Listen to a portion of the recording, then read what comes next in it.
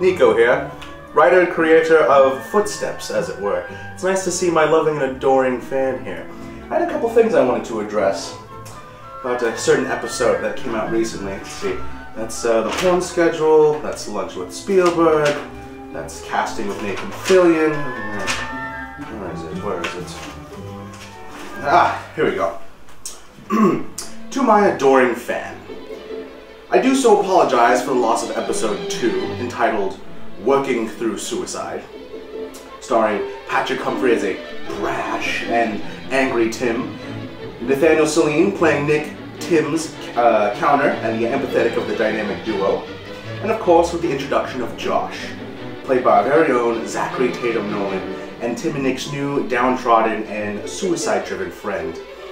Our video de department somehow lost the footage as it were, during our upload process. You know who you are. and so now new material must be, okay, look. Point of the matter is, episode 2 got lost somehow. We're to create some new footage, um, meaning that more footsteps is coming by. So be prepared, people. More footsteps is coming. It's coming.